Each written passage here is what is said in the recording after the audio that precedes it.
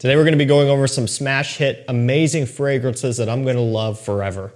If at any point I work my way through an entire bottle, I'll be sure to get another one. And in some instances here, I already have. I've got backups of quite a few of these. Each one of these is kind of uh, uh, something special in the sense that they helped keep the interest alive for me. Each time either it came out or whenever I smelled it for the first time, it just kind of reignited that spark to some extent, you know, just kept the, the interest and the excitement alive. We'll kind of talk about that as we work through each one of these here. Now, this first one is going to be one of the newest fragrances uh, just on the market right now, at least in terms of what's in this list. You know, there are a few classics in here, a few that have been out for a while. This one is new as of the past couple of years. It is CH Men Passion, and it is by far one of the best within this CH Men lineup, essentially.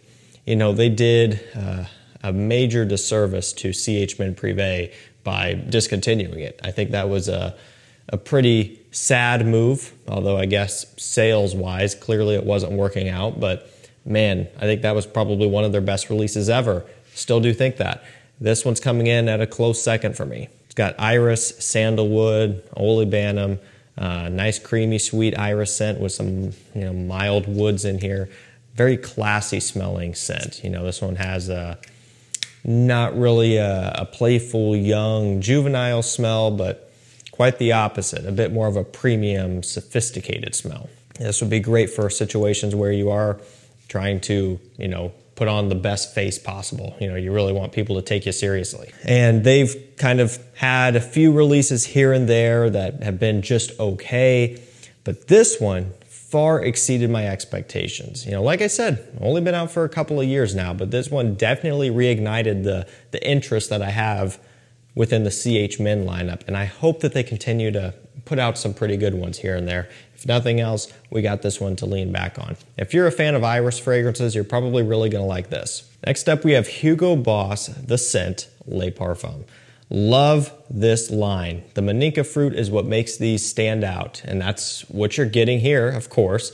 And within this one, you're also picking up on some iris, some leather, and some woody notes. But really, the Maninka fruit, it's the star of the show, front and center. That's, you know, about what you would expect, and they delivered on it. That in and of itself makes this and all of the others within the line stand out compared to all of the other designers out there. You really don't see that note being used anywhere else. I mean, there's a few fragrances here and there that maybe have it tossed in the mix, but Hugo Boss the scent and all of its counterparts, you know, they really kind of hone in on that and I love it for that reason. It just it stands out. It makes these so unique and that's great. And of course they're using iris leather, woody notes, which are very common, especially these days. A ton of iris fragrances, a ton of sweet scents, and of course, leather has been a pretty popular trend as well. This one, though, just has a, a nice little added touch to make it stand out above the rest. I will say this is not really what I would consider to be an iris scent, you know, like uh, Dior Homme Intense, Prada L'Homme, the CH Men we just talked about, I would consider those to be iris fragrances because it really is at the front and center. This one, it's prominent, but not as much. Really, the star of the show is the, the classic Maninka fruit, and even the leather's coming through a bit more than the iris. But regardless, it's still there, offering a little bit of support. You really can't go wrong with any of these in this lineup. The Scent Le Parfum is one I really like. So jump over to a niche fragrance up next. This one has grown on me so much. You know, first when it came out, I thought the bottle was really cool. I think it looks great. Uh, definitely a head turner, and especially on the pictures and stuff online, they really make it pop and stand out. that's about all I knew about it. And then I got it in, tried it for the first time, and then I was like, yeah, you know what? I do really like this one. And the more I kind of go back to it, the more I smell it, the more I really start to like it. It is Xerjoff Groove Escape. So again, there's that bottle. It's not going to show up good on camera and it does show the fingerprints a little bit, especially when you're trying to look at it in all these bright lights. But trust me, in person, it looks fantastic. It's got pepper, cedarwood, incense, and myrrh. It's a really interesting blend because it kind of smells a little bit like Xerjoff Naxos, which of course I also really, really like. And there are a few affordable alternatives or clones to that one out there these days. It's got a little bit of that going on, but then it has this this peppery, almost kind of slightly bubblegummy sweetness to it. It's it's really bizarre, but in a cool way. Like I said, this one has been more of a slow burn for me. You know, it's taken me time, but the more I go back to it, like I said, I just love it more and I kind of get intrigued by it to some extent. It's a niche fragrance, right? It's going to have a bit of a different style, a bit of a different approach that you might not be used to if you're typically going for designers. But if you do want something to change it up a little bit, give this one a try. I really like it a lot, and it has great performance too. We're gonna keep this one going with Mercedes Benz Club Black. Man, what a phenomenal designer release for around you know 50 to 60 dollars is typically where this one's going. And i think i've seen it into the mid 40s before for testers. And you know the cool thing about these is they have no cap right? So you can get a tester and it's this right? The exact same. And if you can save you know I mean, any amount of money, two, three dollars, or ten or fifteen dollars by going with a tester. That's what I always do, as long as you know no cap situation is involved. But this one is all about the vanilla, the benzoin, and the ambroxan, but primarily the vanilla, and of course the benzoin as well. The vanilla, it's a very syrupy, creamy, rich, like uh, vanilla syrup smell almost. And then the benzoin kind of gives off a powdery, dusty variety of vanilla. And like a tonka bean in here as well. And then the ambroxan is giving it a bit of a bright sparkle off the opening. It smells great. It's one of the best designer vanillas out there, in my opinion, at least, you know, in this price range. I mean, yes, you can go up into the hundreds, you know, 100 bucks, 150, 200 dollars, and then you can start working up in a niche as well, right? And there's tons and tons of options. But as far as affordable vanilla scents goes, I mean, this is simply just one of the best. And it's not for everybody, you know, because it's vanilla heavy and it's not your usual masculine smelling scent. That's where some people get hung up on this. Vanilla typically isn't a masculine note on its own. You can combine it with things like tobacco or, you know, a, a number of other notes to kind of start to work it into a men's fragrance, but on its own, which is primarily what it's being used like here, it's not that way. So be sure that you know what you're getting yourself into. But if you do want a vanilla focused scent for an affordable price, Mercedes Benz Club Black is one of the best you can get. And I love this stuff. Ever since I first tried it, I was hooked, and still it's one of my favorite options for winter. Keeping it moving with Azzaro, the most wanted parfum, another favorite of mine for wintertime. You know, I love Wanted by Night. I think it's great. But this one is, to me, a bit more exciting. One, because it's newer and I haven't worn it as much. But two, just the opening, really. I mean, it kind of has this fizzy grape cola opening, you know, like Dunhill Icon. It's got a bit of that going on. Usually from the ginger is kind of where that's coming from. And you're getting a lot of it here. But it, it, doesn't stay that way throughout the entirety of the scent. It does dry down to a, a sweeter, kind of vanillic, woody style scent, kind of putting it more in line with, you know, uh, the most wanted and, and, things like that, which is kind of a toffee, kind of gourmand, sweet scent too. Between the two, I like the parfum better. That opening, that's what does it for me. It is addicting.